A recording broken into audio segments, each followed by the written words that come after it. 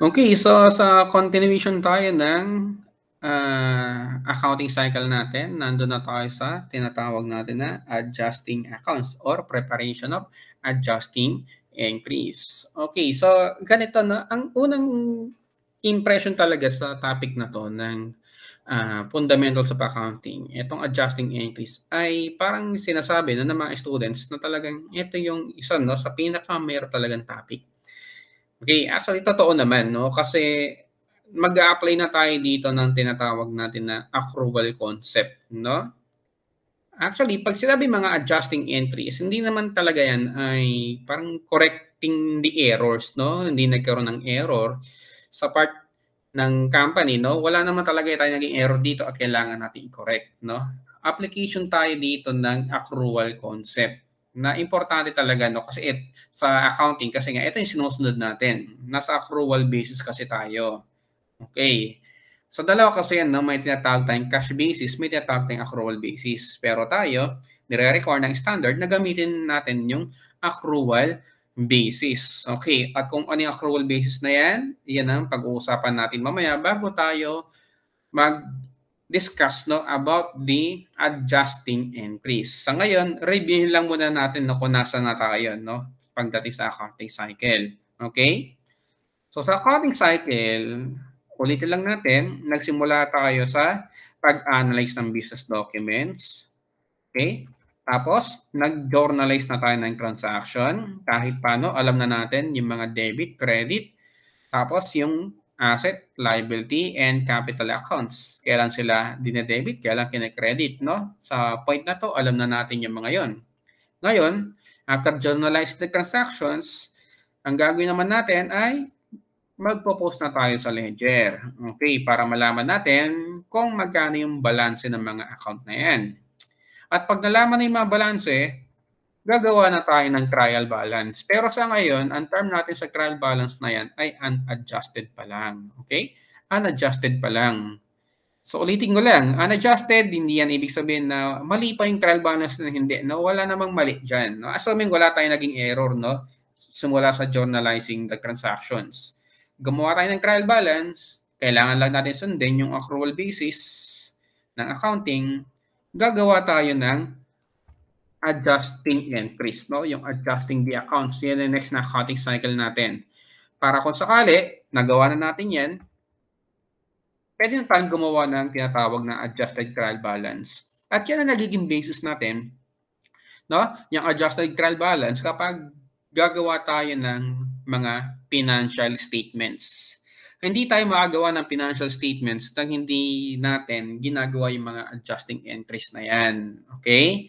Kung sakaling gawin natin, pilitin natin, hindi pwede yun kasi magkakaroon tayo ng mga overstatement or understatement sa mga accounts na nakapresent sa unadjusted trial balance. Kaya nga, tinaterm natin siya as unadjusted. Kasi nga, kailangan pang i-adjust na para sundin nga yung accrual concept natin sa accounting para ma-prepare naman natin yung tinatawag natin na adjusted trial balance na magiging basis natin in preparing the financial statements na magsisimula nga tayo sa income statement, next yung capital statement, next yung balance sheet, at yung pinakauli, ang cash flow statement.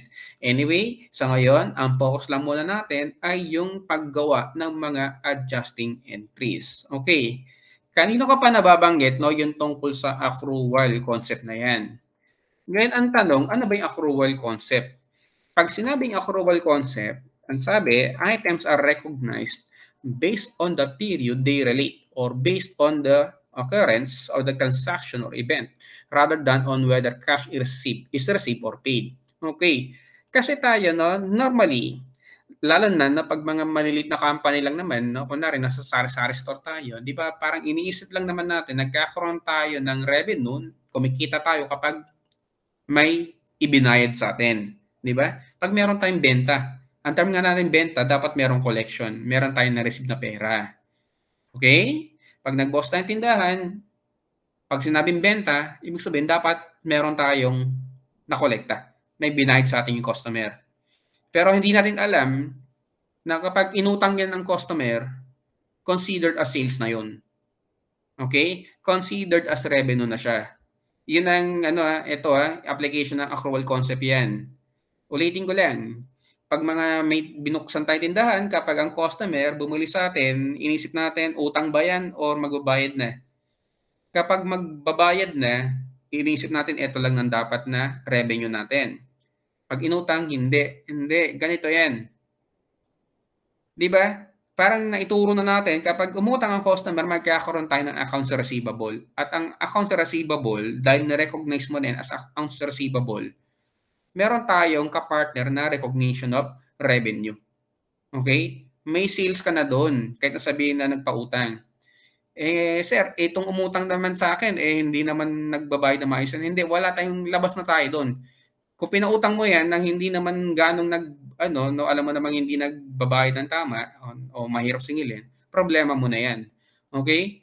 At yan ang isa no sa ginagawa natin ng adjusting entry, yung tinatawag natin na doubtful accounts.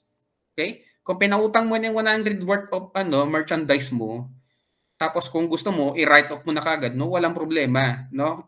Gawin gawin mo na kagad ng adjusting entry, no? Hindi ano lang yan, no? Uh, sinasabi lang natin yung point natin dito. Walang problema, no? Labas na tayo dyan. Basta pinautang mo yan, naglabas ka na ng merchandise, binigay mo na sa kanyang item, na-deliver ng goods, yun ang mga term natin, na-render mo ng service, okay? Nag-perform ka na, na meron ka ng performance na tinatawag dito, pwede ka na mag-recognize ng revenue doon. Regardless kung kailan siya magbabayad. Okay? Magbabayad man siya o hindi. Basta sa ngayon, na-deliver mo ng goods, meron ka ng performance sa part mo, eh, i-recognize mo ng revenue. Kung di man, kung di man magbayad yan, gawan mo na lang ng adjustment para sa doubtful accounts. Okay? Sa ngayon, revenue na yan. Mag, kailan man siya magbayad, importante, ngayon, ma-recognize mo ng revenue. Pag nagbayad siya, hindi na recognition ng revenue yun. Okay? Kung sabihin na natin, nagpautang ka ngayon September 17, tapos nagbayad siya December 17, September 17 pa lang, sales na yan. December 17, hindi na sales yun. Okay? Ang mangyayari, i-recognize mo na lang yung collection ng receivable. Parang sa ngayon, debit account sa receivable, tas credit mo ang revenue o yung sales natin. Sa December 17, ang gagawin mo na lang sa time ng collection, i-debit mo yung cash credit account sa receivable. Pero kung mapansin nyo sa entry na yun, wala nang sales. Ang sales nangyari ngayon kung kailan ka nag-perform. Okay? Diyan, yan tinutukoy natin na na-earn na ang revenue. Kapag nag-deliver ka na, nag-perform ka ng service, no, or na-render mo ng service, etc. Kung kailan ka nakapag-provide ng services, kung kailan ka napag-deliver ng goods, yun ang oras na dapat mag-recognize ka ng revenue. Hindi kung kailan ka nangolekta. Kaya lang, may mga instances talaga, no, kung kailan ka nag-perform, kailan ka nag-deliver, doon na rin yung collection yun nga yung tinatawag natin ng mga cash sales, for example. Pagka-deliver mo, bayad ka agad. Okay? Walang problema. E paano kung hindi mo na nagbayad? Okay lang yan. Pero under accrual concept, sa oras na ma-perform mo na yan, ma-earn ng revenue, ma-deliver ng goods, doon mo na siya dapat i-recognize as revenue. Huwag mo nang isipin kung kailan makakolekta. Okay? Ganon din na sa part ng mga expenses kung meron tayong uh, na-incur na electricity expenses ngayong buwan na to, okay, sabihin na natin, alam na natin, or, o mas madali, salary expenses na lang, no? Sa part na mga salary expenses, sabihin na natin, ang cut-off period natin ay September 1 to 15 saka September 16 to 30. O yung 1 to 15 na earn uh, na incur na natin 'yan. Pag sinabi na incur, ibig sabihin niya expenses na gamit na natin. Okay? So, September 1 to 15, nagtrabaho ng mga empleyado mo, ibig sabihin sa part mo, dapat mo na silang pasahurin na incur na kasi expense.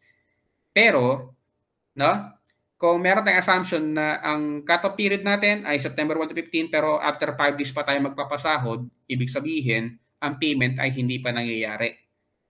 Okay?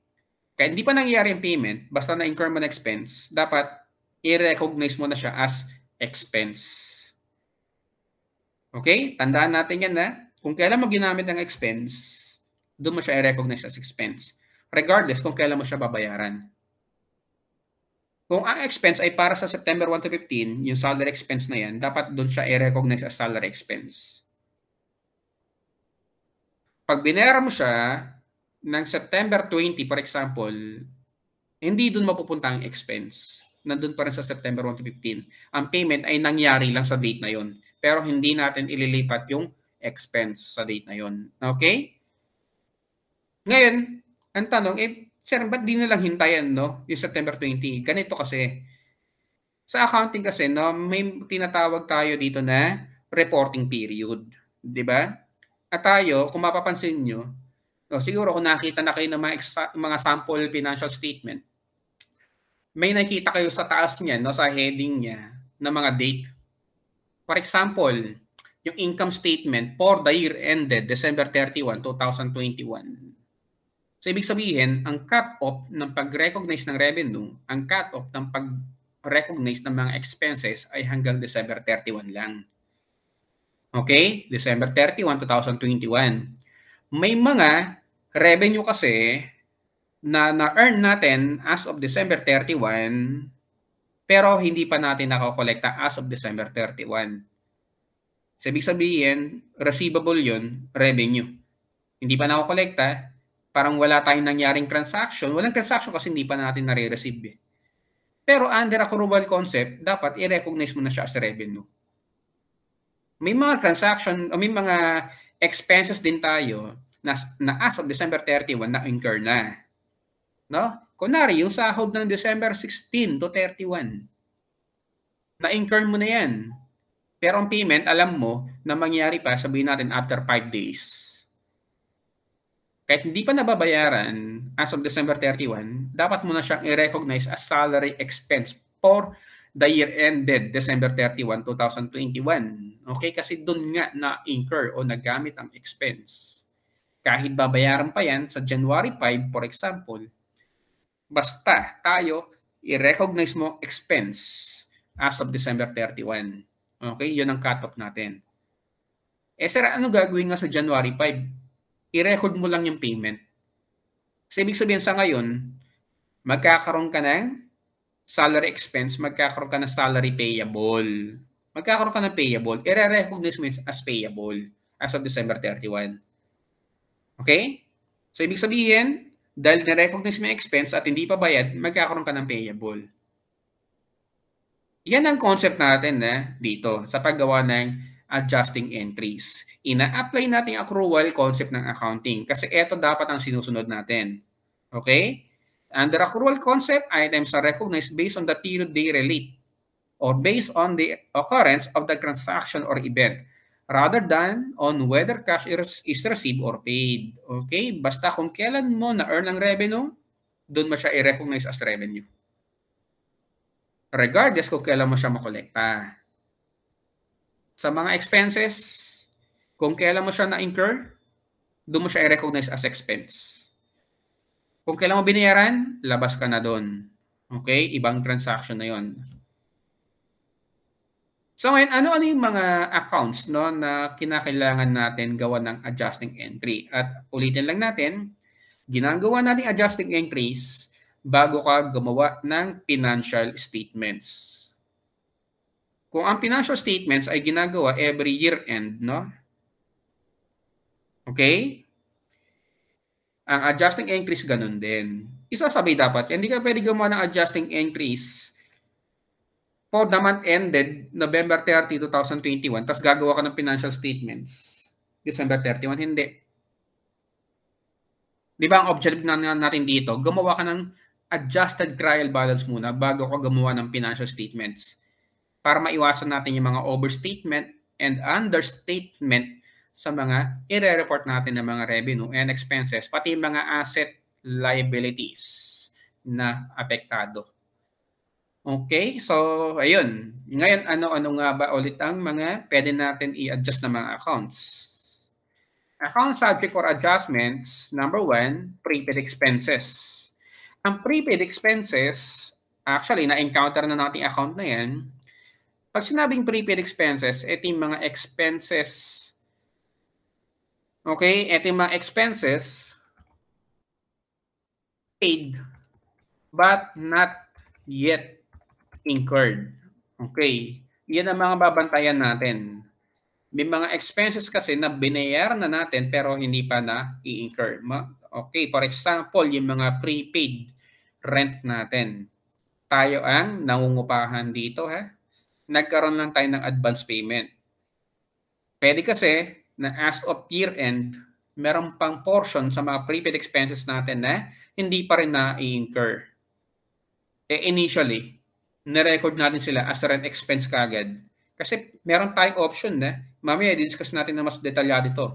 Sa pag-recognize ng mga prepaid expenses, actually, meron option na gamitin yan o gamitin yung tinatawag natin na expense method. Sa pag-record natin ng prepaid rent, pwede natin eh, sa simula, i-recognize kagad siya as rent expense. Pwedeng ganun. Ang tawag natin dun expense method kasi inuna mo yung expense. Pero at year end, no?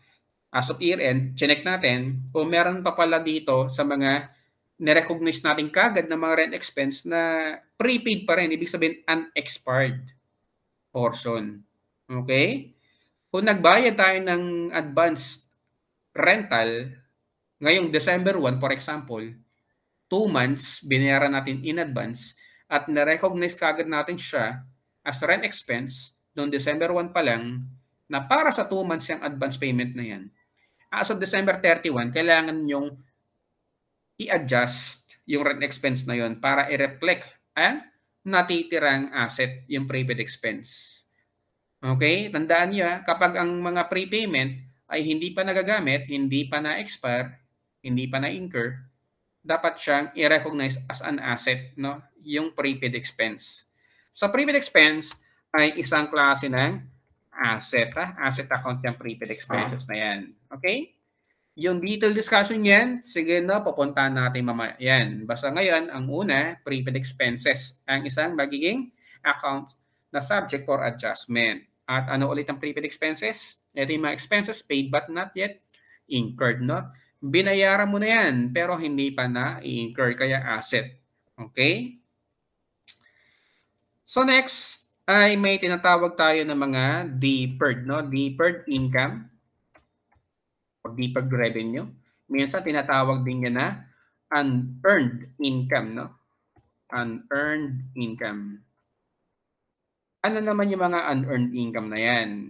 Kaya tinawag na unearned income yan kasi ito yung mga income proceed, okay, but not yet earned.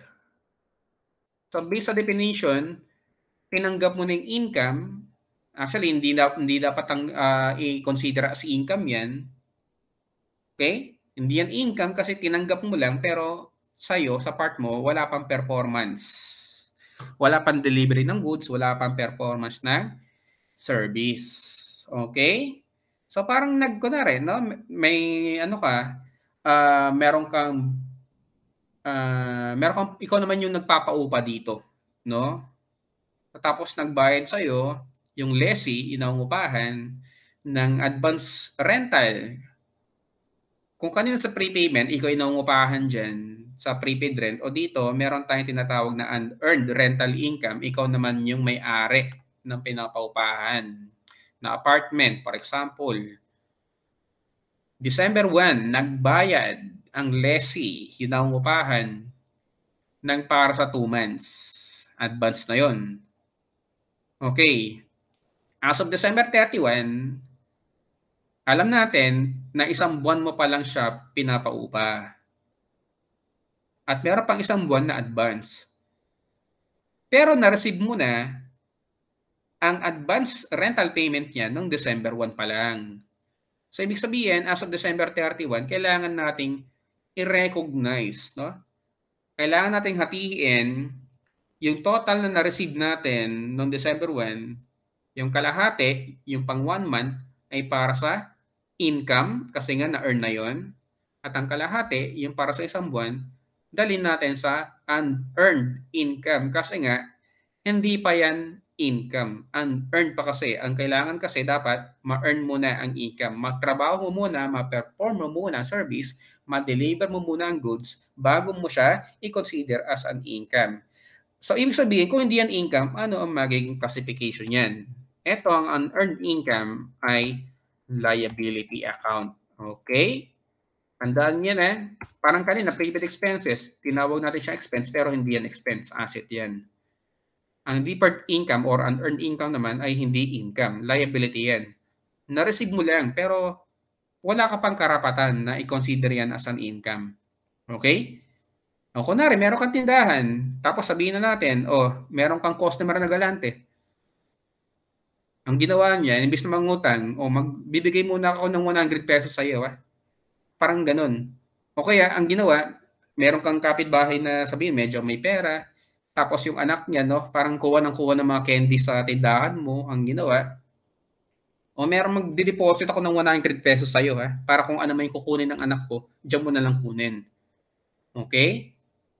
O mangyari dyan, ikaw, sa oras na ma-receive mo yung 100 pesos na yan, deferred income yan.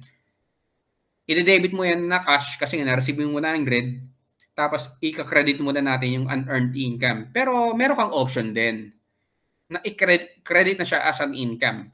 Basta at year end, pag gagawa ka ng financial statement, check-in mo kung magkano ang na-earn mo na dyan, magkano ang hindi pa, yung unearned portion. Okay?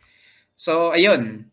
So kung sabihin na natin, sa 100 pesos as of December 31, yung yung anak na tinutukoy ng kapitbahay mo no, nakakuha ng mga candy, ng mga chichirya na worth 70 pesos. Yung 70 income na yan. Yung 30 unearned pa. Okay? Kasi December 31 eh. Kailangan mo na mag-report magkano ang na-recognize mo na income.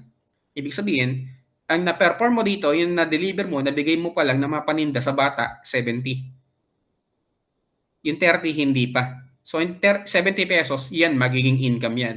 Yung 30, deferred muna. Deferred, di ba? Pag sinabing deferred, may postponement na mangyayari. Ipo-postpone mo muna ang recognition ng income. Okay? So yan ang ibig sabihin ng unearned income.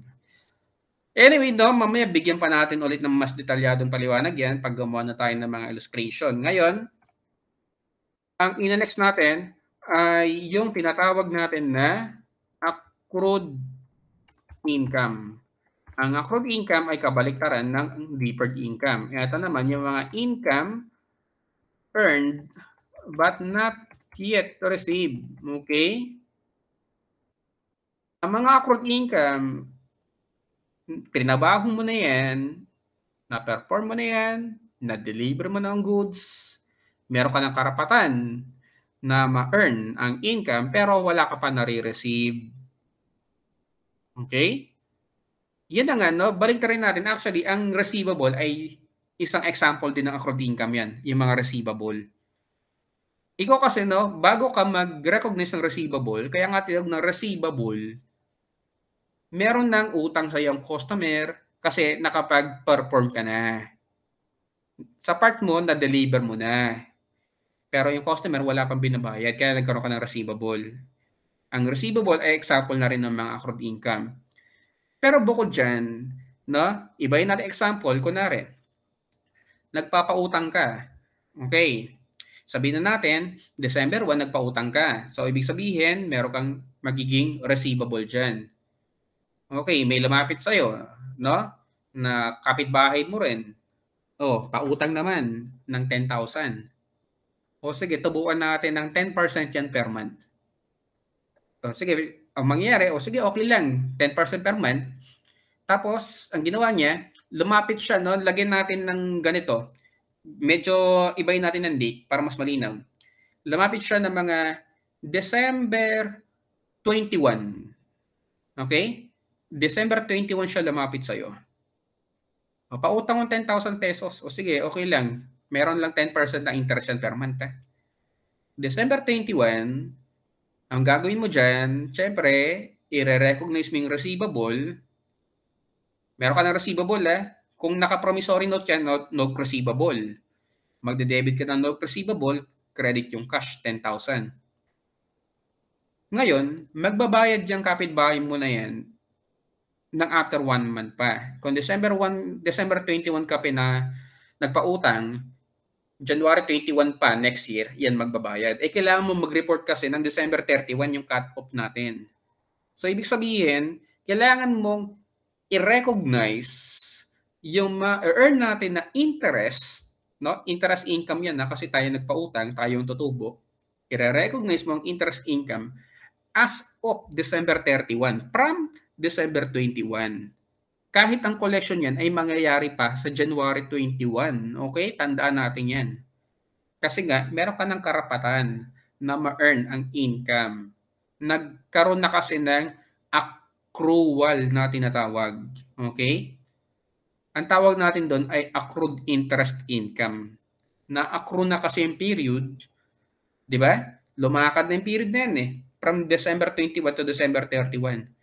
Hindi pa nga nakokolekta pero meron ka ng karapatan na i-recognize yung interest income. Kasi nga, tumubo na. Di ba? Tumubo na yung note receivable ng sampung araw. Okay? Hindi mo pa nare-receive, pero na-earn na ang interest, meron ka ng tinatawag na accrued income dyan.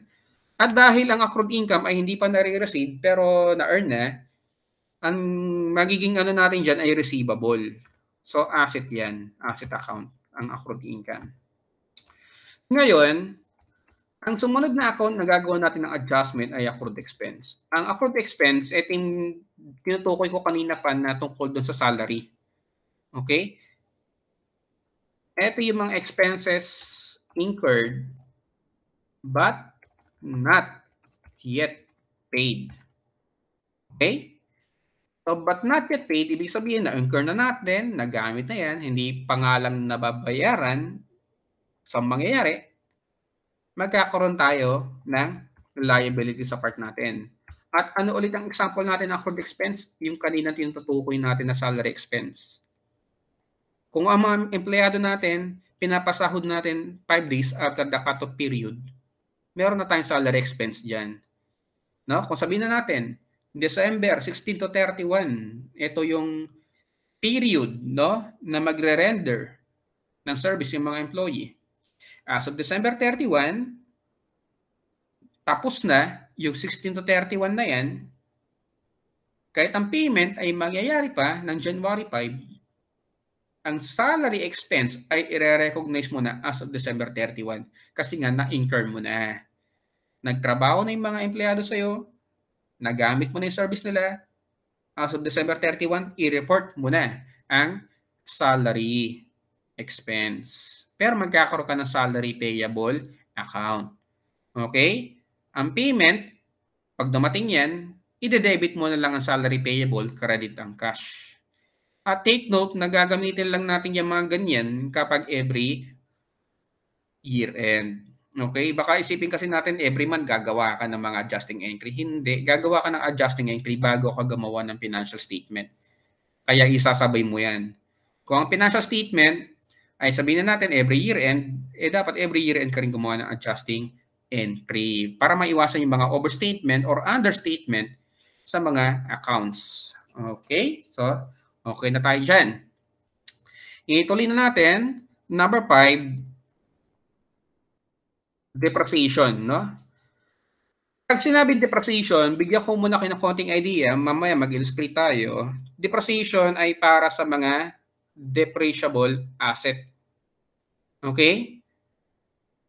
Yung depreciation ay recognition, no? Recognition of a portion of the total cost of a depreciable asset initially recognized as an asset nga. Okay? Sa simula kasi, ang depreciation, eh hindi muna natin nire-recognize as depreciation ang ginagawa muna natin, nire-recognize muna natin yung cost ng in-acquire natin na depreciable asset. Ano ba yung mga depreciable asset? Ang mga depreciable asset, ito yung mga equipment, machinery, building, furniture and fixtures, etc. Ang mga non-depreciable naman, yung land. Okay, ang land, Uh, ba't, ba't ba sinabi natin depreciable? Pag sinabing depreciable, ang depreciable o depreciation, nire-reflect natin dito yung pagkaluma kasi ng mga asset. Dahil nalaluma, nagagamit, nababawasan ng value nila. Okay? Kaya nga depreciation, nagde-depreciate yung value. Nagde-decrease ang value dahil sa pagkaluma, dahil sa paggamit natin ng asset. Yung land, hindi yan nagde-depreciate. Okay, napakatagal na yan, no? Ng mga land na yan. Nandyan na yan, dati pa. Pwedeng tumaas, no? Pwedeng tumataas ang value ng land, pero depreciation malabo. Okay, hindi mo pwede sabihin ng land ay pwede mo lang gamitin after 10 years. Tapos, uh, within 10 years, tapos after 10 years, wala ning land na yan. Hindi pwedeng ganun. Yung mga depreciable assets, sabihin na natin, no, meron kang equipment, meron tayong desktop computer na binili para sa company isipin mo, gano'ng katagal mo mapapakinabangan sa company. Okay? O minsan, ini-estimate natin, itong computer na yan ay para sa, ano lang, period of 5 years. After 5 years, pwedeng sira na yan, o kaya mabagal na, kailangan ng palitan. So, ibig sabihin, yung total cost na i-recognize mo para sa equipment na yan, dapat i-allocate mo sa period na dapat na alam mo na mapapakinabangan mo siya. Okay? Initially, i-recognize mo yung mga depreciable asset na yan as an asset. Pero subsequent no to initial recognition dapat maging depreciation shot no to reflect the decreases in the value no of the asset parang ganun mangyayari sa depreciation okay so mamaya no mag-illustrate ang depreciation na yan ngayon ituloy na natin ang last no yung pang-anim na subject na account na subject for adjustment yung tinatawag natin na doubtful accounts ito, ang ginagawa lang natin dyan, inaalam natin kung ano yung portion ng mga receivable natin na doubtful na pagdating sa collection. Pag ganun, dahil alam mo na parang duda ka na ng mga kolekta yan, wag mo nang i-recognize as an asset yan. Kasi pag sinabing asset, meron kang in-expect na future benefit dyan. Pagdating sa mga receivable, yung future benefit, yung magiging collection ng cash. Eh kung ang isang receivable ay doubtful na sa collection niya, wag mo nang i-recognize yan as an asset. No? I-expense mo na. Yan ang tinatawag natin na doubtful accounts. Okay? So, mamaya illustrate din, din natin yung doubtful accounts na yan. Ngayon, magbigay na tayo ng illustration ng adjusting entries. Okay? Ito ay ibang problem to no sa sinog natin nung nakaraan. Ngayon, magbigay tayo, ulitin lang natin, gagawin mo ang adjusting entries na yan pagkatapos nito. Ibig sabihin, pag gagawa ka ng adjusting increase, dapat meron ng given na an adjusted trial balance. Pwede ikaw yung kumuha o kaya pwede binigay na ng problem. Basta gagawin mo, gagawa ka ng adjusting increase after ng trial balance or after ng unadjusted trial balance. Ginamit natin term na unadjusted ha, kasi gagawan nga natin ng adjusting entries. Kapag na-reflect mo na yung mga adjusting entries dun sa unadjusted trial balance, ang tawag na dyan ay adjusted trial balance. Okay? So, ulitin ko lang, dapat meron ka ng unadjusted trial balance. Tapos, meron tayong mga additional information para sa maging, para maging basis natin no? in preparing the adjusting entries. So, sa example natin, meron tayo ditong given na unadjusted trial balance for Nova Tra- Travel Agency. At makita natin, ang date niya ay December 31, 2021. Okay. So, ibig sabihin, ang idea natin dito, ano-ano na kaya yung mga pwede nating i-recognize na mga prepaid expenses, accrued expenses, deferred income, accrued income, depreciation, doubtful accounts as of December 31. Okay? So, ito ang unadjusted. Tapos, meron tayong mga additional information dyan. Ngayon, bago natin isa-isain yan, yung mga binigay na mga additional information dito sa problem, basahin muna natin yung mga requirements. Siyempre, alam na natin requirement yan. Number one ay preparation of the adjustments. Yung number two, preparation of an adjusted trial balance. Siguro sa susunod na video natin yan no, para ayusin muna natin yung mga naging adjusting entries. Tapos, i-reflect na natin yung mga adjusting entries na yan sa unadjusted trial balance para makagawa tayo ng adjusted trial balance. Ngayon, focus lang muna tayo sa mga adjusting entries. Okay, alam na natin kung ano yung mga account no, na na-involve sa mga adjusting increase. Simulan na natin dito no, sa letter A. Okay, dyan natin ibabase yung mga magiging adjustment. So, start tayo sa letter A. Ano ba sinabi dito? On November 1, 2021, Nova paid ABC Realtors 300,000 for 6 months rent on the office building commencing that date. Pansinin niyo eh, dito, ito kasi kaya medyo nakakalto talaga sa umpisa ang mga adjusting entries. No? Kailangan talagang mas malalim yung magiging analysis natin. Okay? Paano yan? Ganito, for example. Ang mga i-highlight nyo dyan, kunwari ito, meron tayo November 1, 2021. Ano November 1, 2021 yan? Ang November 1, 2021, yan yung oras na nagbayad ka ng 300,000 pesos para sa 6 months rent. Kaya kung isipin nyo, yung 300,000 na yan ay aabutin niya pa no, hanggang April 30, 2022. Okay? Pang 6 months kasi, no? November, December, January, February, March, April. Ngayon, isipin nyo, kapag gumagawa ka ng adjusting entry, meron tayong cut-off. At ang cut-off natin, yung, yun ang December 31. Hindi lang naman lagi December 31 yan. Plus, ha?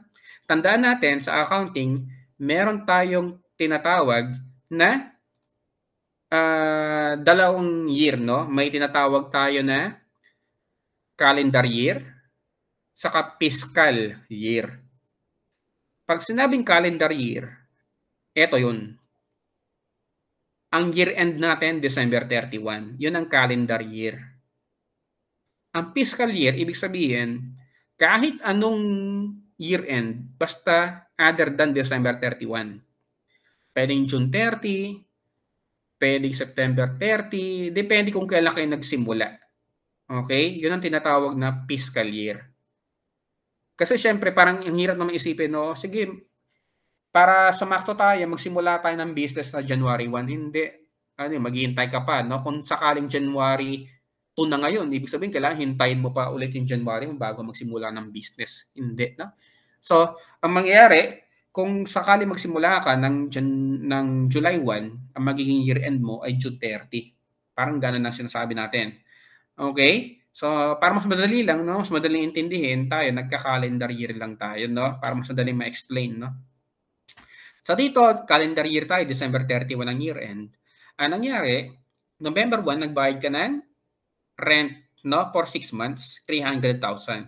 So ibig sabihin, ang monthly cost ng rent ay 50,000 pesos, 300,000 divided by 6. And as of December 31, okay, so sa 300,000 na yan, dahil good for 6 months yan, ang iniisip natin dyan ay mahati yan. Okay? Mahati yan sa used portion o yung tinatawag natin na expired portion of the rental. Okay? At meron tayong tinatawag na unused portion.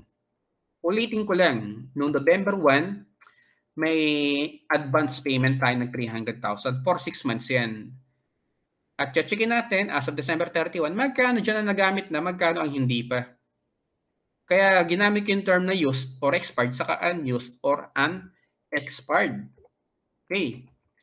Unused or expired portion ay yung kinumpit natin kanina na 50,000 times ilang buwan. Ilang buwan ka na ba nangungupahan simula November 1 hanggang December 31? Di ba? Two months. Kaya meron tayong 100,000. Ang unexpired naman ay yung natitirang 4 months pa. Okay? After ng December 31. 50,000 yan times 4 months. Or 200,000.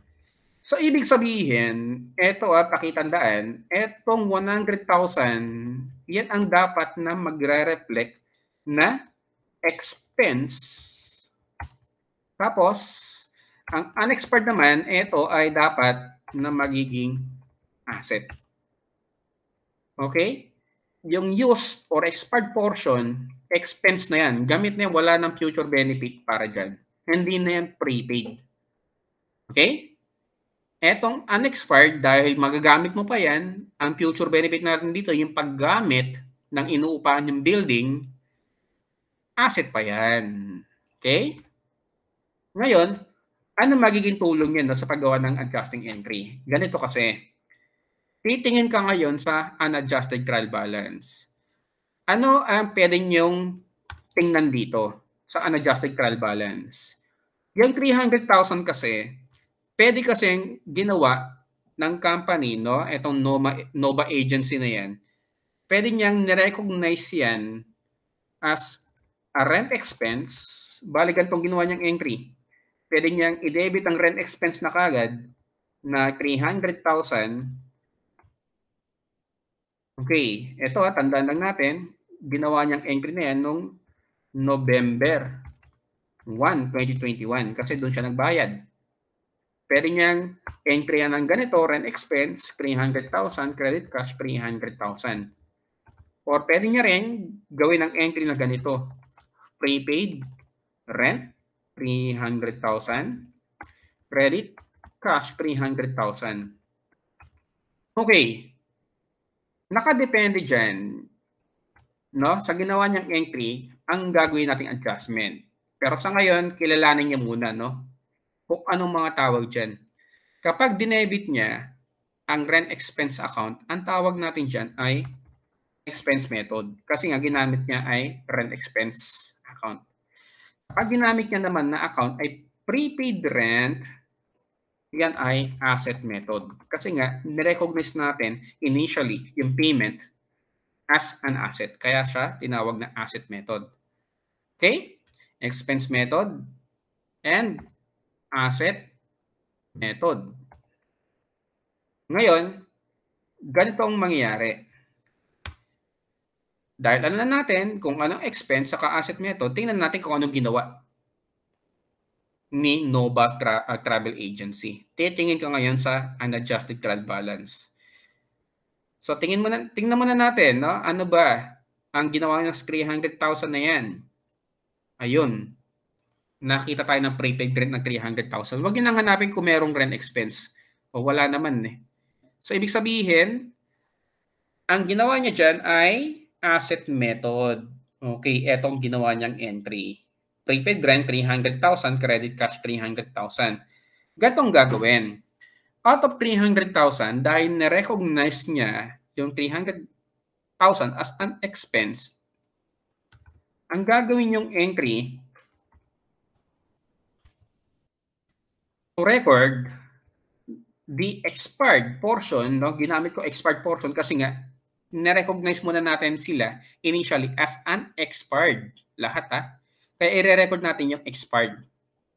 Okay? Ulitin ko lang, nung umpisa kasi ginawa natin siyang unexpired muna lahat. Asset muna. Kaya ngayon, ang adjustment natin, i-record natin yung na-expense na, yung nagamit na, yung na-expire na. Kasi pag hindi ka gumawa ng adjusting entry, eto lang yung makikita mo sa trial balance na mali. Kasi nga, hinati na natin yan. Sa 100,000 sa 200,000. At ang alam natin, ang gamit na dyan ay 100,000. Kaya dapat, ang gagawin yung entry ay rent expense 100,000 to record no the expired portion of the prepaid rent 100,000 tapos credit prepaid rent okay tanggalin niya na siya sa pagiging prepaid niya kasi nagamit na yan. Yan ang adjusting entry. For asset method, ha? For asset method yan. Okay. So, ang sagot natin dyan ay ito. Rent expense and prepaid rent.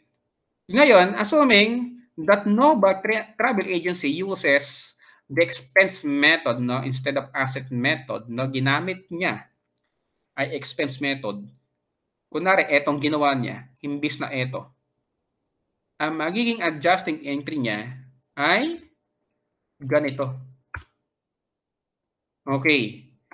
Dahil ginawa niya expense yan lahat, makikita mo sa trial balance na naka-expense, ano ah, ignore niyo muna yung binigay dyan na prepaid ah. Additional assumption lang to. Dahil ginawa niyang expense lahat yan, i-recognize natin yung unexpired portion naman. Kasi nga, sa umpisa pa lang, nirecognize niya na lahat na expired na. Eh kaso, nakita nga natin na 200,000 ay hindi pa na-expire. Kaya ang gagawin nyo, ang adjustment ay magiging prepaid rent naman na 200,000 tapos babawasan nyo ang rent expense. Kasi pag hindi nyo binawasan ang rent expense na yan, magkakaroon tayo ng overstatement sa rent expense. At pag nagkaroon ka ng overstatement or sobrang pagre-report ng rent expense, ang net income ay magkakaroon ng understatement o magkakaroon ng kulang. Okay? So, ayan, natandaan natin na pwedeng pumili si company ng expense or asset method. At depende dyan kung ano ang gagawin niyang adjusting entry. At dahil nalaman natin na expense method ang ginamit niya, ang adjustment ay ito. Okay? So yan na, tandaan natin yung tungkol dyan. Ngayon, tuloy na natin sa letter B.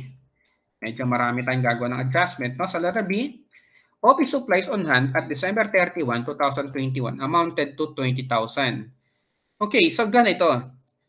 Ganyan din, no? Pagdating sa mga, actually prepayment din yan, pwede nyo rin kasing gawing, ano eh, uh, sa supplies, pwede rin gawin ni Nova Travel Agency na gamitan din yan ng asset method, no? Asset method and expense method. Okay, para sa 20,000 eh. So, under asset method, pwede niyang gawan ng gantong klaseng entry yan pwedeng i-debit na yung supplies, tapos credit cash. Nung binili niya, pag ni-recognize niya yan initially as an asset or as supplies, asset method yan. Okay. Ang expense method naman ganito. Ginawa niya na kagad na supplies expense. May ganyang klaseng account na supplies expense. Ang supplies kasi, kapag nagamit na, dapat supplies expense. Kapag hindi pa, supplies muna. Okay. O yan, no? Pwede, pwede siyang pumili, alin man dyan. Ngayon, ang tanong, anong ginawa niya? Ang ginawa ni Nova Company, tingnan natin, ayun, may nakita tayong office supplies dito. Wala tayong nakitang office supplies. Kaya ang gagawin natin, no, ayan, alam na natin na ginamit niya ang asset method. Okay, asset method. Actually, yung problem naman, no, kadalasan naman, nagsasabi kung asset method yan or expense method. At doon kayo babase. Okay? O dito, dahil hindi, tinitingnan natin yung trial balance. At ang trial balance, nakita natin yung office supplies account. No? Wala tayong nakitang office supplies expense. At dahil ginamit niya office supplies account, siguro kompletuhin na lang din natin dito no? para sa consistency na lang ng paggamit ng mga account. Okay? Imbis na supplies lang, gamitin natin office supplies account. So ngayon, ang tanong, dahil asset method ang ginamit, ano ang magiging entry natin? Okay, ganito ha. Actually, hindi naman ganito talaga naging entry dyan na 20,000 lang. Paano ko nasabi yan? Okay. Yung portion lang nga, yung portion ng office supplies, nung binili natin para sa 20,000, ganyan ang ginawa ng entry. Okay. Ganyan, sa 20,000. Pero kasama siya dito. Kasama siya dito sa 60,000 pesos na binili. Okay. So kung gusto natin kunin yung buong 60,000, nung binili natin yung total ng 60,000 na supplies, ganito ang ginawang entry dyan. Okay? Ayan eh. Nung binili natin yung supplies na 60,000, anong sabi? Pag asset method, dinebit ang office supplies kasi nga asset yan. Tapos credit cash 60,000. Pag expense method naman, office supplies expense 60, credit cash 60. Ngayon, pag inanalyze natin tong problem, no? Ang sabi, sa supplies na 60,000, okay? Dahil ang cut-off natin, December 31, hatiin ulit natin yan. Ang supplies ay prepayment din yan na. Magkakaroon din tayo ng parang prepayment dyan. Yun din ang concept dyan. Sa 60,000, dahil 20,000 na lang on, ang on hand, ibig sabihin, nagkaroon ka ng physical count, no, binilang mo, ilan pa ba natitirang supply sa atin? At ang nakita ay 20,000 pesos no, na lang ang natitirang supplies. Iyon na lang nakita natin physically. So, ibig sabihin, yung 20,000 ito na lang ang dapat na i-consider natin as an asset. Okay? Asset yan. Siya na lang asset. yung 20,000. So, ibig sabihin dapat, siya lang ang dap mag-reflect doon sa office supplies account. Kasi yan lang natitira. Pero yung nagamit na, okay, yung nagamit na, yung 40,000 pesos, expense na yan. Hindi na pwedeng maging asset yan kasi nga gamit yung asset na yan. Okay? Gamit ng supplies, hindi mo na makita yan, kaya siya naging expense. Kaya dapat mapunta siya doon sa office supplies expense account. Ngayon, paano natin gagawa ng entry yan? Dahil ang company gumamit ng asset method, na-recognize natin siya initially as an office supplies, kailangan yung gawa ng adjusting entry kasi pag hindi, ire-report nyo lang yan as office supplies. Hindi nyo mare-reflect yung 40,000 na na-expense na. Ibig sabihin, pag gumawa ka ng entry or adjusting entry, no, to record the use supplies, no, na 40,000 out of 60,000 pesos, ang magiging entry natin dito ay office supplies expense, 40,000, and credit office supplies Tandaan nyo class na pag gumagawa kayo ng adjusting entry, huwag nyo nang uulitin o gagamitin ng cash account. Ang cash account, sa nangyaring transaction yun para sa adjusting entry, gaya dyan sa office supplies, baka i-credit credit pa ulit natin yung cash. Mali yan na. Binayaran mo na yan dati pa. Dati mo nang binili yan. Ang kailangan mo na lang gawin ngayon ay i-record yung gamit na portion. Kasi nga, nirecognize mo siya initially as an asset kaya ang adjusting entry ay ito. Okay? Pero kung sakaling expense method ang ginamit ng company, dahil una, nirecognize mo lahat yan as an office supplies expense account, no? lahat, no? nilagay natin lahat sa office supplies expense. Kailangan natin gawan ng adjusting entry yan to record the unused supplies as of December 31. Okay, dahil lahat naka, naka-expense, kailangan nating i-debit yung office supplies account, no? Yung portion na hindi pa nagagamit, yung 20,000. Tapos credit office supplies expense na 20,000. Okay? So, yan na. Yan ang ano natin. No? Kung sakaling expense method naman ang ginamit niya. At alam na natin na ang ginamit niya ay asset method kasi nakita nyo na nirecord natin no, base sa trial balance, meron siyang record ng supplies account. Okay? So, sige. Tuloy na natin sa letter C. Ang letter C and D ay example ng depreciation. Okay. Ngayon ang tanong, paano ka mag-record ng depreciation? For example, sa letter C, ang sabi, equipment has an estimated useful life of 10 years and a residual value of 50,000 pesos. Tingnan natin dito ang equipment. Ang equipment ay merong value na 550. Tapos meron na naka-record na accumulated depreciation.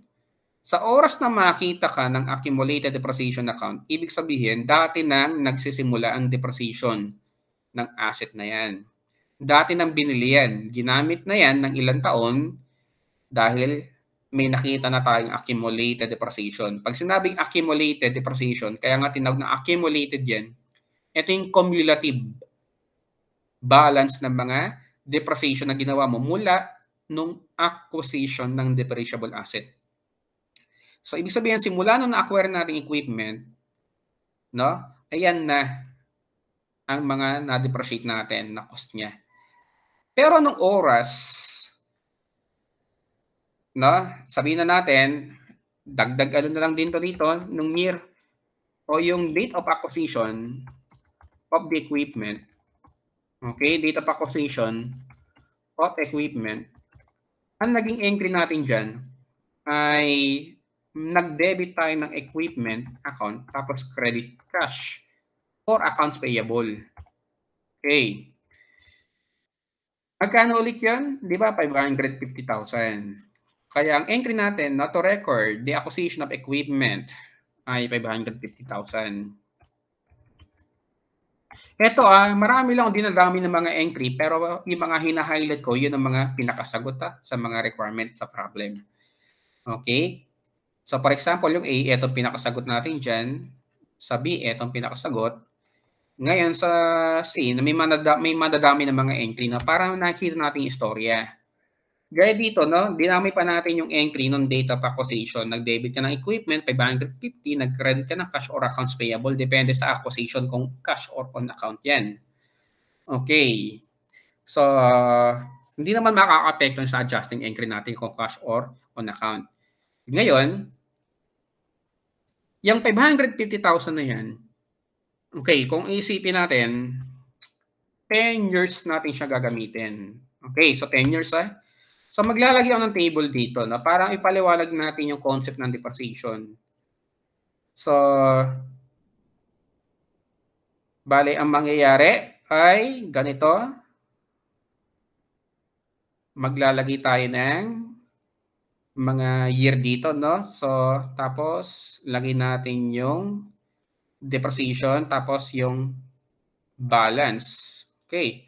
O siguro idamay na rin natin yung accumulated depreciation no, para mas malinaw. Okay, yung table na yan, tapusin natin hanggang sa end ng useful life niya. So, ibig sabihin, magsisimula tayo dito mula year 0. Pag sinabing year 0, ito yung date of acquisition na date of acquisition yung year 0. 1, 2, 3, 4, 5, 6, 7, 8 hanggang 9 tapos 10. O yan na. Hanggang dyan. Okay, no? Hanggang sa matapos ta yung useful life ng equipment. Okay, so yan ang naging entry natin. Nag-debit ka ng equipment, tapos cash or accounts payable sa date of acquisition, itong year 0.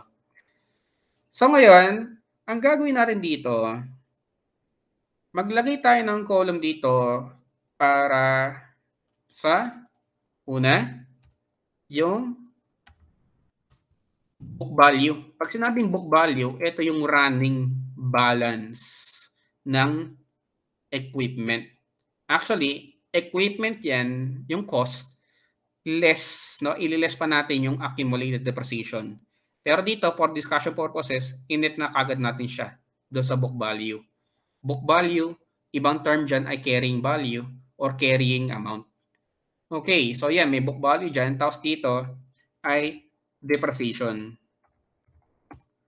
Tapos dito naman, accumulated depreciation. Okay? Ngayon, ang tanong, noong year zero, Siyempre, dahil hindi pa ginagamit yan, ang book value niya ay 550,000. Okay? Pag sinabing residual value, ibig sabihin, class, pag sinabing residual value, sa end ng useful life niya, kung inestimate natin na ang equipment ay meron useful life na 10 years, ang residual value, yun ang pinaka value niya after 10 years. Yung talagang gamit na, no? gamit na gamit na equipment na yan, lumang-luma na, 50,000 na lang pwedeng ibenta. Siguro pwedeng ibenta na lang yung mga yung mga yung mga parts niya na medyo ayos pa. O kaya ibenta mo na lang yan, scrap, timbangin na lang, di ba? Parang mga ganun lang, okay? Basta ang estimate natin, pagkatapos ng 10 years na useful life niya, 50,000 na lang ang value. Ibig sabihin, dapat at the end of the 10th year, 50,000 na lang ang dapat na magre-reflect na 50 na book value dyan sa dulo. Okay? 50,000. So, ibig sabihin, hindi mo dapat a-zero out yan. Kailangan matira ang residual value. At sa dulo, dapat ang accumulated depreciation, yung may iwan, no, yung, makukomple- yung maiipon natin na accumulated depreciation, ay yung initial cost saka uh, less yung 50,000. Okay? Yung 500,000. Yan yung magiging total depreciation natin for 10 years, no? Do sa useful life na 10 years. Ngayon ang tanong, paano ka magko-compute ng annual depreciation? Ang annual depreciation, ganito ang pag-compute. Okay, so cost lang yan. Ililes lang natin ang residual value. Ang cost less residual value, ito ang tinatawag natin na depreciable cost. Ha? Yun ang dapat na maging total depreciation natin sa useful life ng asset. Gaya dito, ito ang depreciable cost. Kasi yan ang in-expect natin na magiging total ng lahat ng depreciation natin from year 1 to year 10. Okay? So, cost less residual value divided by useful life. Ang pinakadahilan no, kung bakit tayo nagle-less ng residual value eh para maiwan nga ang residual value hindi maisama sa depreciation. Okay? Etong method na to class, ang tawag natin dito ay straight line method. Ha? Straight line method ang tawag natin dito sa pag-depreciate ng asset ng gamit yung ganyang formula. Okay? Straight line method. Kasi sa magiging intermediate accounting nyo, sa depreciation na topic, actually meron na akong video no, para dyan sa depreciation methods. Hindi lang straight line method ang ginagamit. Pwede mga sum of years digit, mga declining balance method, output method, etc. No? Yan ang mga tinatawag natin na mga depreciation method. Pero ang commonly used method ay yung straight line method. Tinawag na straight line method yan kasi pantay-pantay ang ire-recognize natin na, re- na depreciation mula year 1 hanggang sa end ng useful life. Okay, no, gamitin natin yan para mapakita natin na straight line nga. Ang cost natin dito ay yung 550,000. Yan ang equipment, 550. I-less natin ng residual value na 50,000. So, ibig sabihin, magkakaroon ka ng 500,000 na depreciable cost. At i-divide natin yan sa 10 years. 550,000 divided by, uh, less 50,000 divided by 10 equals 50,000 pesos. At yan ang magiging annual depreciation natin. At pantay-pantay yan mula year 1 hanggang year 10. Kaya siya tinawag na straight line method. So, ibig sabihin, taon-taon, magkakaroon tayo ng depreciation dito. Yan. Pare-pare yung 50,000 yan. So, ibig sabihin, after year 1, 50,000 yan. Tapos year 2, 100,000. Year 3, 150,000. Year 4, 200,000. Year 5, 250,000. Sa 6, 300,000. Magiging 350. Magiging 400. Magiging 450,000. So, ibig sabihin, taon-taon, ang book value natin, mababawasan yan ng tag 50,000. Okay? Bali, ganito, 550. Dahil yung book value, running balance natin yan, ang gagawin natin, ililess natin no, yung depreciation. So, ibig sabihin, taon-taon, magde-decrease ng, 500, ng 50,000 yan. Ito, magiging 500, tapos 450, tapos 400,000, 350,000, 300,000, 250,000, 200,000, 150,000, 100,000 at hanggang dulo, 50,000 na lang siya. At yun ang residual value. Ngayon, ano ang pinaka-objective ulit ng depreciation na to? ang objective niyan ay para i-reflect ang pagkaluma ng equipment. Okay? Ng mga depreciable asset. Ginagamit mo yan at in-expect natin na hanggang 10 taon natin siya makikita, no? So, magagamit. Kaya i- i-allocate natin yung total depreciable cost niya sa loob ng 10 taon. Hindi kasi pwede na hayaan mo lang na nandiyan lang equipment sa book ng company. Okay? Tapos sa dulo, pag gamit na gamit na, tanggalin mo na lang basta-basta yung 550. Mali yun. Dahil pinakinabangan mo siya sa loob ng 10 taon, dapat kung nagkaroon ka ng benefit sa period na yan, sa 10 years na yan, dapat sa loob ng 10 taon mo rin siya i-recognize as an expense. Okay? Binili mo kasi equipment na yan dahil paano? Bakit? Kasi gagamitin mo sa operation. Bakit nga? Kasi gagawa ka ng dagdag na units. Ba? Pwede kang mag-produce ng panibagong units o kaya gamitin mo sa operation para sa admin function, sa sales function. At alam naman natin may mga benefit yung mga yan. Okay? At dahil napakinabangan mo siya sa loob ng 10 taon, dapat lang din na i-recognize mo rin ang expense or portion ng total cost ng equipment na yan taon-taon din.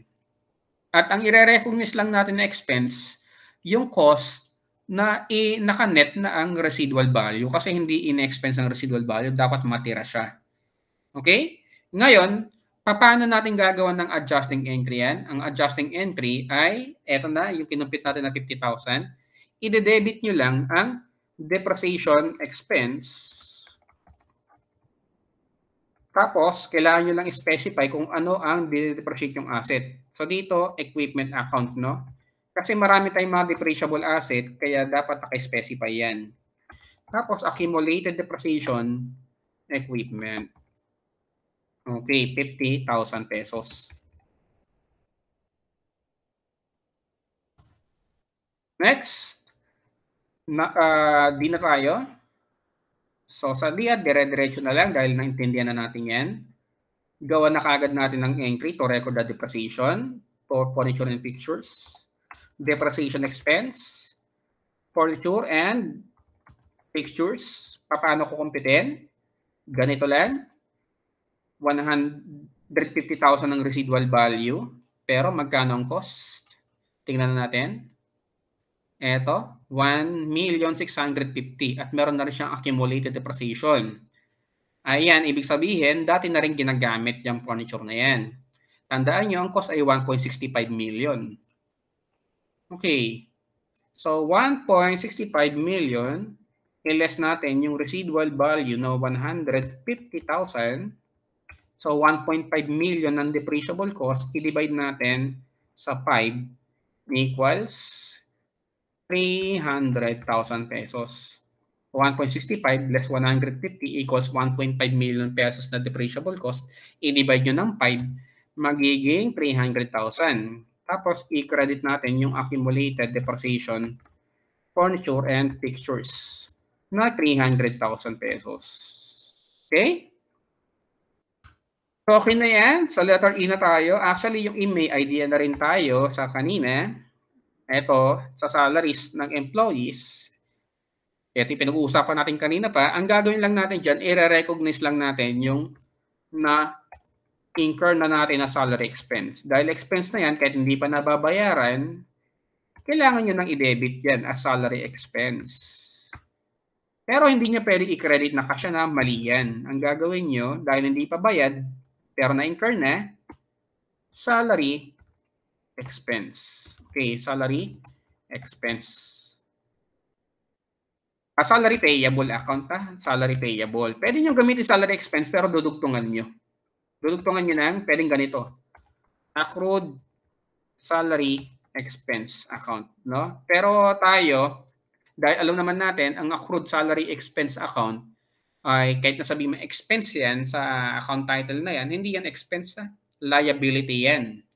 Kasi ito yung mga salaries na na-incur na pero hindi pa nababayaran. Okay? Pero tayo, ang common uh, account title natin dyan ay salary payable. Kaya okay na yan. Pero accrued expense na ang salary payable. Okay, so yan na ang letter E. Ngayon, ituloy na natin sa F. Sa F naman, The 150,000 note receivable due on May 1, 2022 was issued on November 1, 2021 at 15% interest. So dito, ang gagawin lang natin, kasi parang ito yung pinaliwanag natin kanina, nung November 1, okay, ito yung date na nagpahiram ka. Bale, ganito mangyayari kung gagawa natin ng entry yan, noong November 1, 2021, i-record natin yung notes receivable, okay, debit note receivable, tapos, credit natin yung cash. Kung sakaling ganyan na, nagpahiram tayo ng cash, kaya note receivable, credit cash.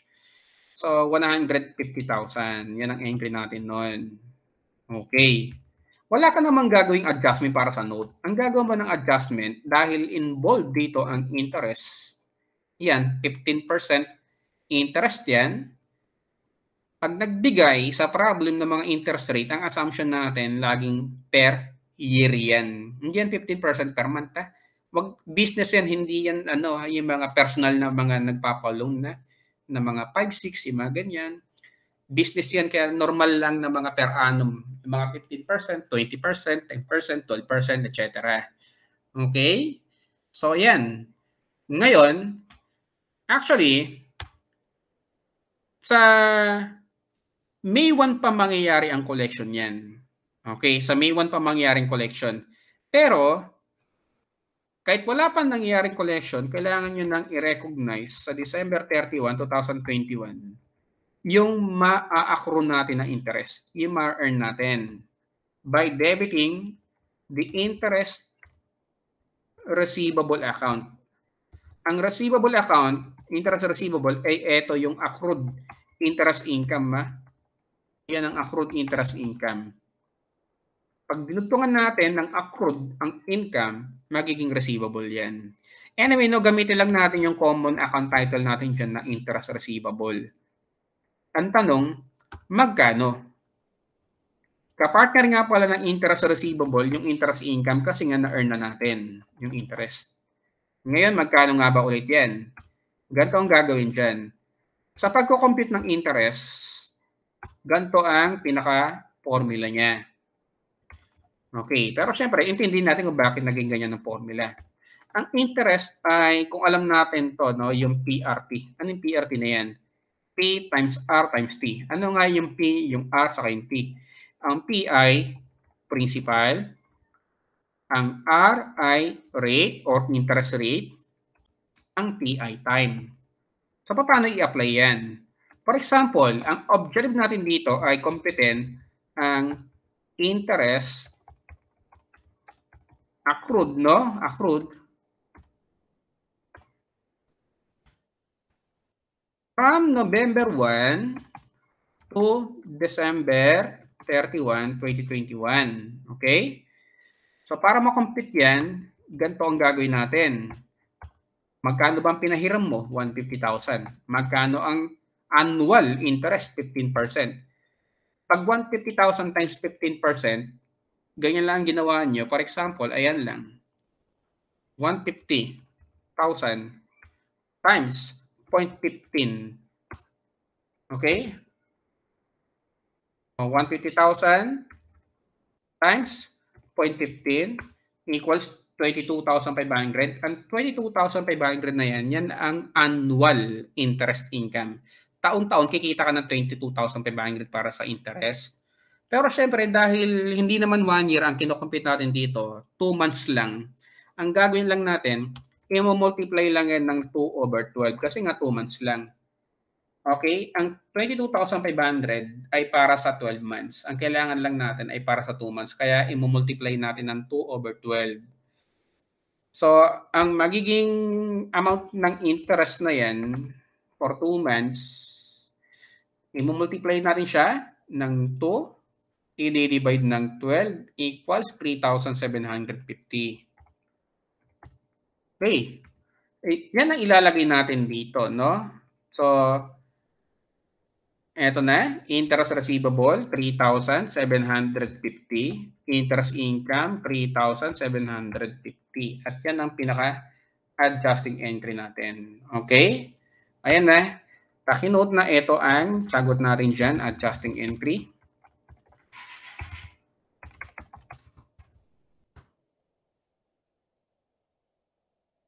Okay, so ngayon, balik ta naman natin. Kung kanina meron tayong note receivable, kaya tayo nagkaroon ng interest income, dito note payable naman, tayo may utang.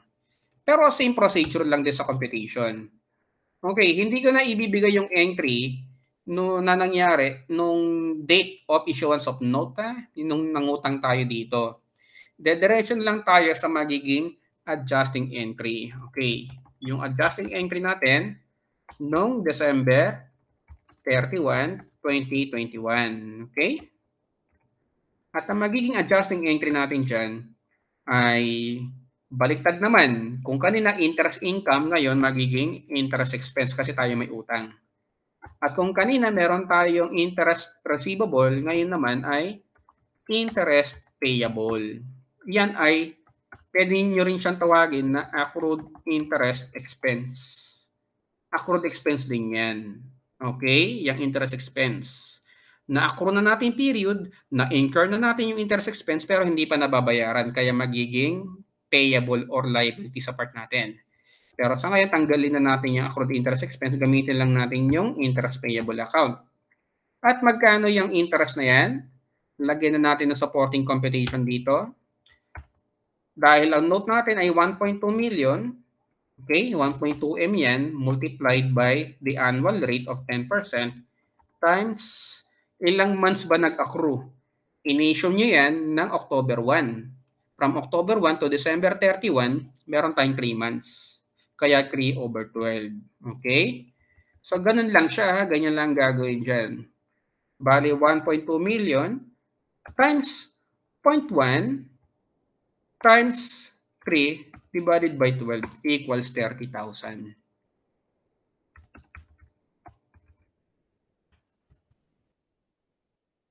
Okay, so dalawa na lang, no?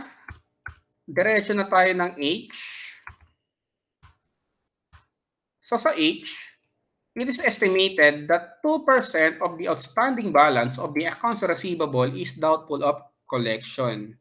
Okay, ang tanong, no, magkano ba yung tinutukoy natin na outstanding balance ng receivable? Sa receivable, ang balance natin dyan ay 500,000. Okay, tandaan nyo, 500,000. Ngayon, ang sabi, out of 500,000, 2% ang doubtful. So, ibig sabihin, kukumpitin natin dito kung magkano ang doubtful. Okay? Accounts. At ang gagawin nyo lang ay i-multiply lang yan sa 2%, yung 500,000. At yun na kagad yun. 2% times 500,000 equals 10,000 pesos. Okay.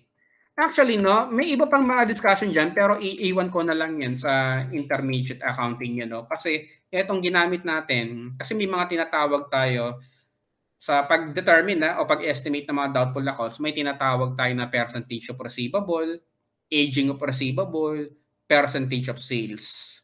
Okay?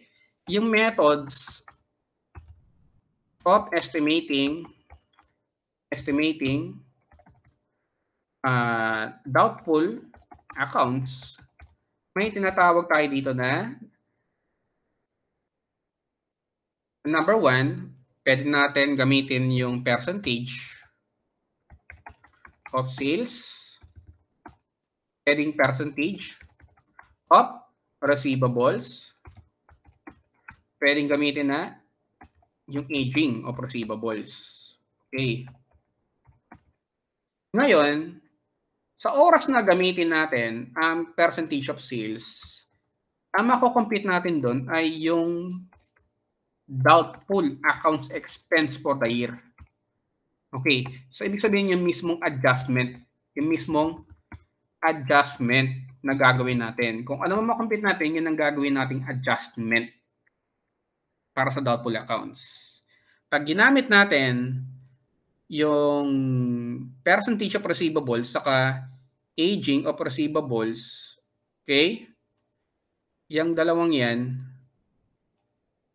ay mako-compute natin yung tinatawag natin na required allowance. Ibig sabihin, pag ginamit natin yan, yun ang dapat na maging adjusted allowance for doubtful accounts expense. O, uh, allows for doubtful accounts. Okay? Sa statement of financial position kasi, ganito nangyayari. Okay, ire-report kasi natin dyan yung pinaka-face amount of receivable. For example, yung kanina 500,000, ilalagay natin dito yung 500,000 pesos. Tapos, ire-report natin dito yung allowance for doubtful accounts. Okay. Yung tinutukoy natin dito na required allowance, ibig sabihin, kung ano man na ma-compute natin dito, direkta siya dito. Okay? Yan ang adjusted o year-end o yung ending balance of allowance for doubtful accounts. So, ibig sabihin, kunwari, etong 10,000 na yan, yan na dapat ang ilalagay natin dito.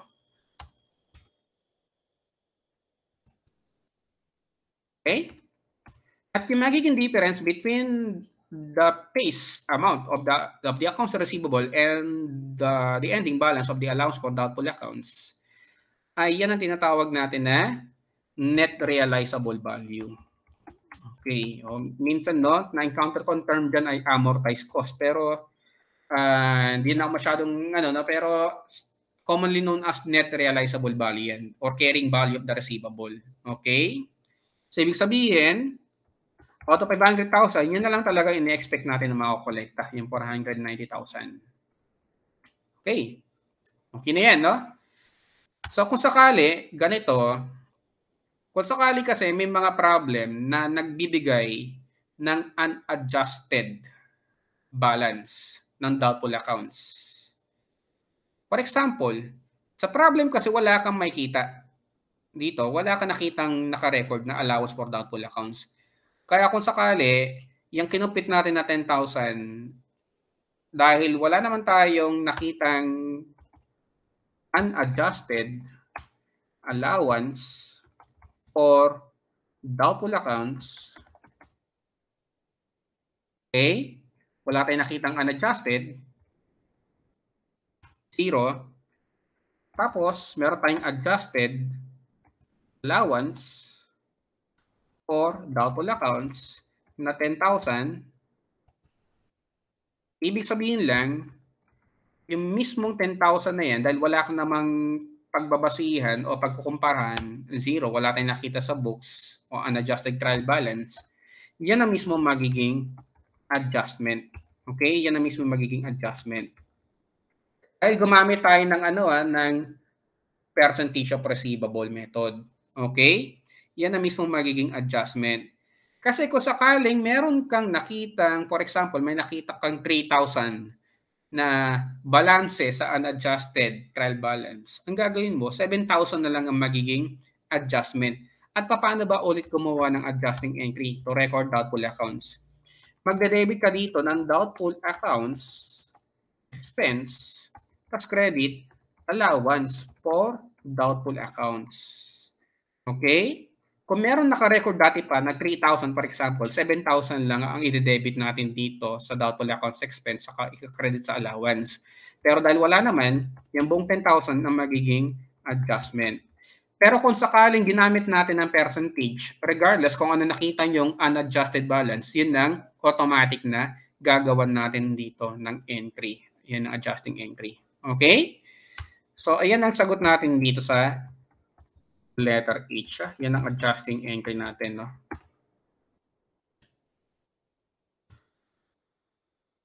Next ay I. O oh, anyway nga pala, no? Uh, okay na tayo dito sa doubtful accounts. Isingit ko lang pala, no? Isingit ko nga lang pala. Ito ay example ng isang contra asset account. Asset account yan pero contra asset eh yung allows for doubtful accounts. Okay? Contra asset account kasi, naging deduction siya sa receivable. So, ibig sabihin, kung ang receivable at yung mga iba pang, iba pang asset ay merong normal balance na debit, ang allowance for doubtful accounts ay merong normal balance na credit. Kaya kung pansinin nyo, yung nag-record tayo ng provision for doubtful accounts, credit nating allowance. Normal balance niya kasi credit. At alam naman natin, ang mga account, kung kailan sila nag-increase, yun ng normal balance nila. Same with the, the accumulated depreciation account. Ang accumulated depreciation ay mga contra asset account. Okay? Mga contra asset account yan. So, kung papansin nyo dito, may naka-record na tayo dyan, di ba? Equipment, saka accumulated depreciation yung equipment less accumulated depreciation sa unadjusted muna eh, na 550 less 200, 350,000, yun ang tinatawag natin na book value. Na actually, na-discuss na rin naman natin yan kanina. Okay? So, okay na yan. Basta pansinin nyo, ito ay asset account, yung accumulated depreciation, yung dalawang yan. Pero nasa credit side sila kasi sila ay mga tinatawag na contra asset account. Okay, so yun yan. Ay na tayo. Out of 5 million pesos recorded travel revenue, checkin natin. Ano ba yung tinutukoy dyan? Checkin muna natin, di ba yung problem? Yung given na trial balance. Ito yun. 5 million pesos daw yung travel revenue na nakarecord dyan. At anong sabi? Okay, out of 5 million pesos recorded travel revenues, 100,000 was received in advance from customers and yet to be earned as of December 31, 2021. Ito yung kanina pinapaliwanag natin na example ng unearned revenue. At pag unearned revenue, naka-record kasi siya as a revenue kanina, okay? Ganun na, bale ang nangyari, initially, yung 5 million pesos, ni-record natin yan ng ganito. Okay? Debit cash, tapos credit, travel, revenue account. Okay? Na 5 million pesos. So, ibig sabihin, pag ganyan ang ginamit niya, ang tawag natin dito ay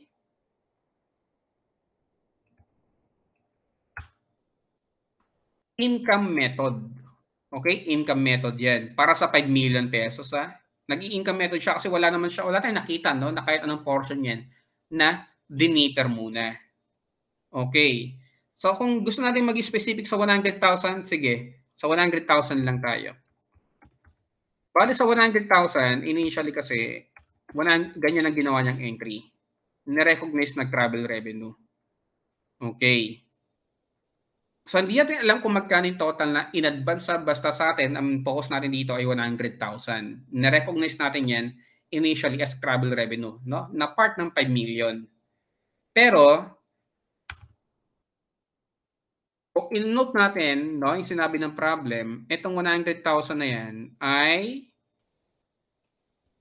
still unearned as of December 31, 2021. So, ibig sabihin, kailangan i-recognize muna yung unearned revenue account. Bali, ang mangyayari, tanggalin nyo muna siya sa pagiging revenue account.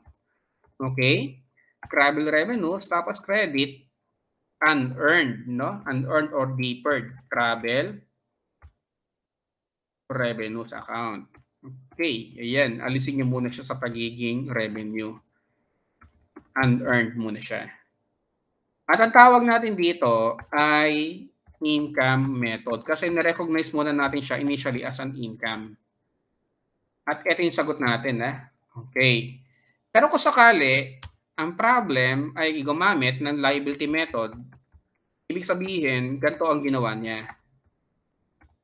Dinebit niyang cash na na-receive ng 100,000 tapos credit yung unearned travel revenue account na 100,000. At dahil unearned pa rin yan, no? unearned as of December 31, 2021, okay, eh, okay lang yan na ganyan. Pero kung sakali, na more than 100,000 yan, kunwari, yung 5 million pesos, yung 5 million pesos na nilagay natin dyan ay na-recognize initially, lahat-lahat ginawa munang unearned. Okay, na-receive in advance yung 5 million na yan. Tapos, yung 100,000 na lang ang hindi pa na-perform. Okay. Ang mangyayari, i-recognize natin yung portion ng 5 million na income. At yung earned portion nun ay tatanggalin na natin sa pagiging unearned. Okay? Unearned travel revenue na 5 million less 100,000 or 4.9 million. Tapos i-less natin yan o i-gawin na natin siyang travel revenue na 4.9 million. Okay? Ganyan ang mangyayari ah, na entry. Kasi sa umpisa, kapag ginamit yung liability method, lahat ng na-receive niya, unearned muna. Lahat ng na-receive in advance, ah, assuming yung 5 million ay lahat na na-receive in advance. Tapos 100,000 na lang ang hindi niya pa na-earn. So, ibig sabihin, 4.9 million pesos ang kailangan niyang i-earn na revenue kasi yung 4.9 hindi na unearned yan. Okay? So, yan ang muna yan na muna ang i-discuss natin sa ngayon na yung buong adjusting increase at sa next na video natin illustrate naman natin ang paggawa ng adjusted trial balance.